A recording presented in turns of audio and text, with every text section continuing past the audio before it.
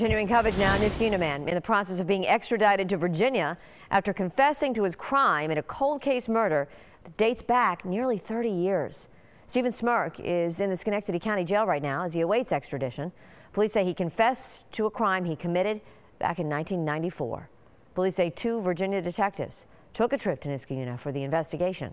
They approached him as he was taking out the trash and struck up a conversation.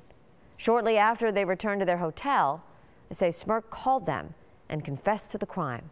It was the murder of a 37-year-old Fairfax woman, Robin Lawrence.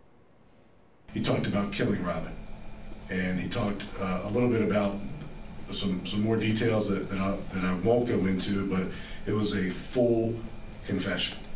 Hmm. Smerk is a hearing on the status of his extradition. September 29th. Police say there is no reason to believe he is connected to any other crimes at this time.